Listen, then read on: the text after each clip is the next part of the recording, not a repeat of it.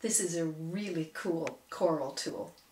When you want to check your pitch at the end of a phrase and you know what the name of the note is, you can use a Korg chromatic tuner.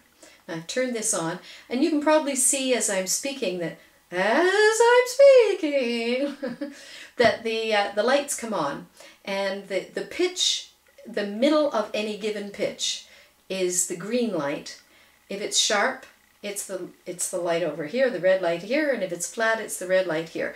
Let me just show you this. I'm going to move in like that.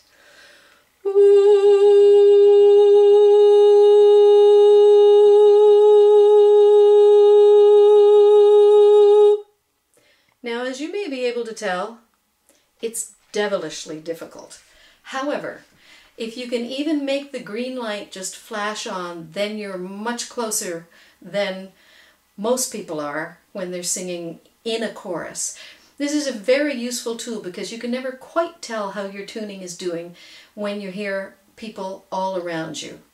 If you've ever recorded yourself in the midst of a group, then you'll know. If you've ever recorded yourself while you're wearing headphones, you'll know how hard it is. This is a visual cue that helps you to know exactly how you're doing. So what you do is you would turn it on here and up in the corner here will register whatever pitch you're singing. And let's hope it's the same one that's in your music. And then this light in the middle tells you when you're dead in tune, this tells you when you're sharp, this tells you when you're flat. The Korg Chromatic Tuner.